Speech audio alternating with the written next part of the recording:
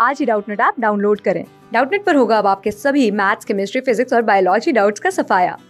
बस अपने क्वेश्चन की फ़ोटो खींचो उसे क्रॉप करो और तुरंत वीडियो सोल्यूशन पाओ। Download now. Hello students, let's start the question. Question here is which of the following is incorrect about sponges तो यहाँ पे हमें पूछा गया है कि गिवन ऑप्शन में से कौन सा स्टेटमेंट इनकरेक्ट दिया गया है? स्पॉन्जेस के रिगार्डिंग ओके स्टार्ट करेंगे यहाँ पे ऑप्शन फ़र्स्ट से which is exhibit cellular level of organisation right तो ये जो हमारा ऑप्शन है, वो यहाँ पे गलत होता है because this statement is correct regarding the sponges sponges में जो है सेलुलर लेवल की ऑर्गेनाइजेशन होती है मीन्स इनमें जो सेल्स हैं वो स्पेशलाइज्ड होते हैं जो कि परफॉर्म करते हैं डिफरेंट फ़ंक्शंस को।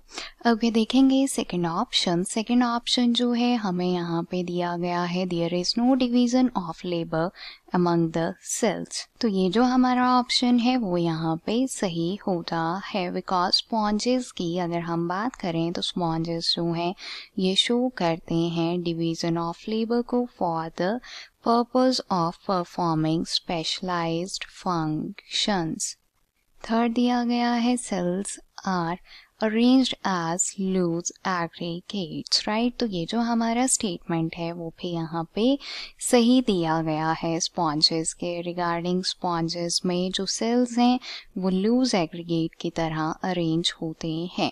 लास्ट दिया गया है सेल्स आर फंक्शनली इंडिपेंडेंट तो ये जो हमारा ऑप्शन है, वो भी यहाँ पे गलत है because as we discuss cells जो हैं डिफरेंट फ़ंक्शन करते हैं means they are not dependent on each other वो जो हैं, अपने फ़ंक्शन खुद से करते हैं। ये जो है इंडिपेंडेंट होते हैं। क्लास सिक्स से ट्वेल्थ से लेके NEET I I T JEE mains और एडवांस के लेवल तक। दस मिलियन से ज़्यादा स्टूडेंट्स का भरोसा। आज ही डाउनलोड करें डाउट नेट आप या व्हाट्सअप कीजिए अपने डाउट्स आठ चार सौ चार सौ चार सौ पर।